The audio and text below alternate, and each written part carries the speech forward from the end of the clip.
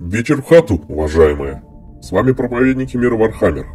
Давайте сегодня поясню вам за огринов.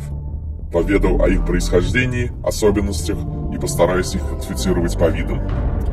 Огрины являются подвидом людей, появившийся в результате выживания на планетах с гораздо большей гравитацией, куда более высоким содержанием кислорода и более суровыми условиями, чем на Терре. Например, скваты, жившие в исходных условиях с высокой гравитацией, стали куда ниже ростом, а огненные стали значительно сильнее. Дело в концентрации кислорода на их родных планетах. Система миров Огринов изначально использовалась как миры тюрьмы, и когда они были присоединены к Империуму после эры раздора, обнаружилось, что суровые условия обитания сильно изменили обитателей этих планет.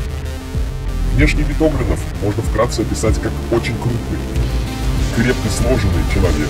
Они достигают роста 2,5 метра и по меркам людей очень грузные. У них короткие и мощные конечности, а ладони большие и выглядят неуклюже. Из-за воздействия неблагоприятной среды на протяжении многих поколений огненны умственно отсталые. Их интеллект и уровень психического развития в целом значительно ниже нормальных для человека, ограничивая их возможности. С другой стороны, это обуславливает повышенную исполнительность и лояльность командирам со стороны Огрина. Огрины официально приписаны к составу Милитарум Ауксилиа, специализированному подразделению Астра Милитарум, которое содержит большинство подразделений нелюдей, используемых Империумом.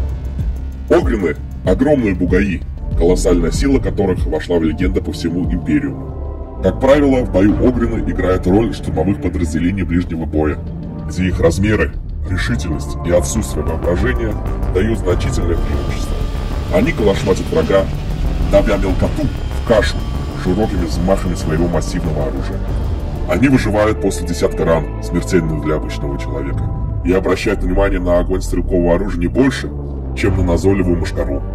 Огрины – тупые громилы, на все угрозы, отвечающие крайней жестокостью и чрезмерной силой, даже если этого и не требуется.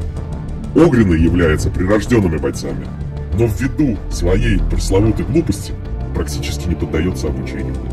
Поэтому Огринов зачастую сразу отправляют войска, где из них формируют грозные вспомогательные части. Давайте поговорим, какие же виды Огринов существуют. Первый вид – это башковитые. Немногие Огрины, проявившие зачатки инициативы и интеллекта, становятся главными кандидатами на проведение аугментирующей хирургии мозга, позволяющей повысить их интеллектуальную мощь до уровня, на котором их способность осознавать основы тактики и стратегии эквивалентна способности восьмилетнего человеческого ребенка. Название башковитый пошло от аббревиатуры БАШК. Это сокращенно биологически аугментированное шунтирование коры головного мозга. И тех, кому провели это самое шунтирование, с большой гордостью ведут на битву своих сородичей нелюдей. Второй вид – вышибалы.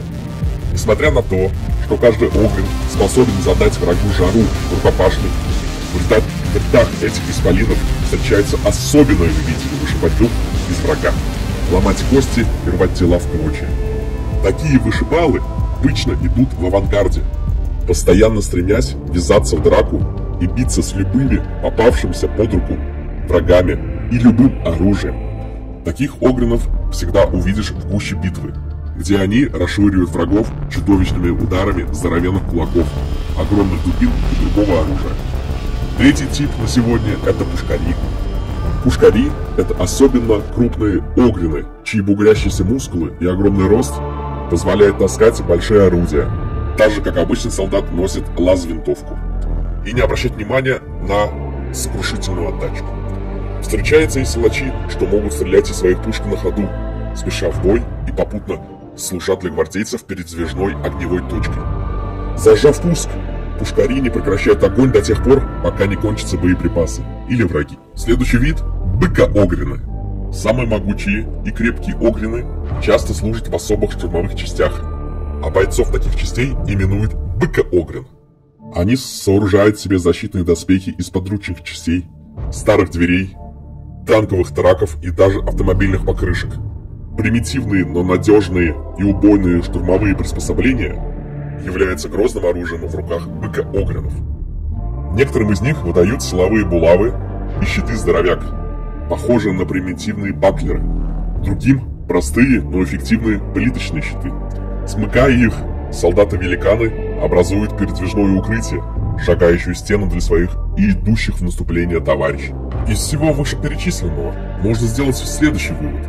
Огрины не мутанты, а особый вид людей, сила и выносливость которых весьма ценится в рядах гвардии. Спасибо за просмотр, присоединяйтесь в наши ряды.